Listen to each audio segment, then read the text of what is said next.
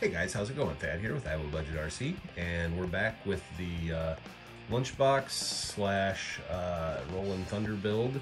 Um, doing two bodies for this if you're new to the series. Um, one I'm doing as the classic yellow Tamiya lunchbox. The other one I'm doing as Rolling Thunder, the uh, 1972 Dodge Tradesman van that uh, Jim Oldacre had in the 80s and uh, ran as uh, in the monster truck circuit. And uh, anyway, so uh, last episode we finished up the rear and got the oil filled shocks and uh, that stuff on there and I was going to start on the front and include that in the episode but I lost two of the little C-clips for the uh, front oil filled shocks.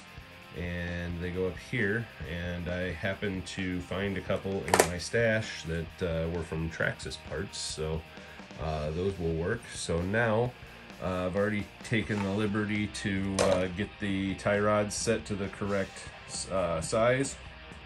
I actually nailed the big one the first try without even uh, looking at my machinist scale there and I all already put the battery holder uh, side Nerf bar thingy on here.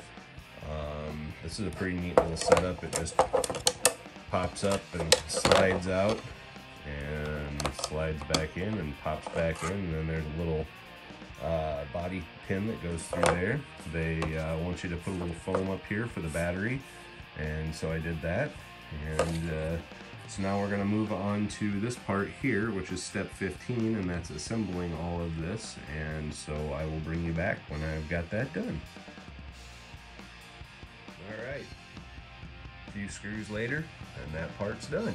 And uh, starting to look like a uh, chassis now. Getting, uh, getting all the next parts uh, ready.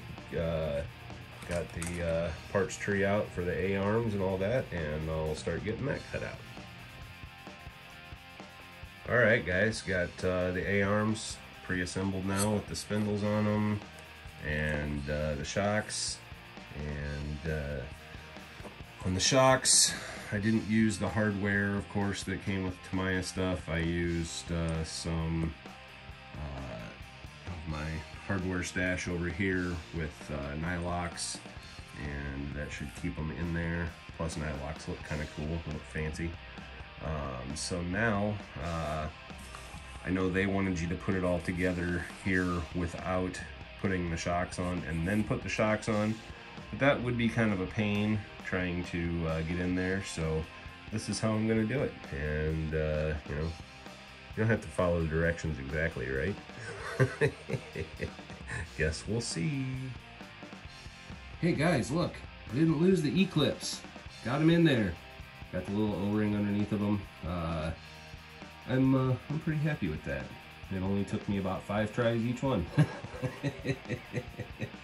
but it works. And uh, these shocks I think will work really good.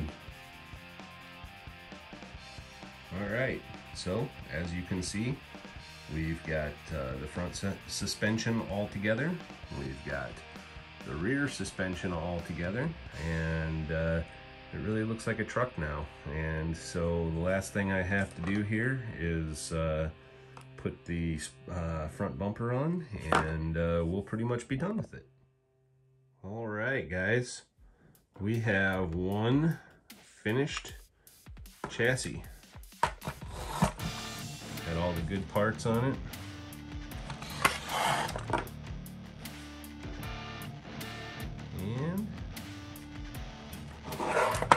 working suspension, front and rear.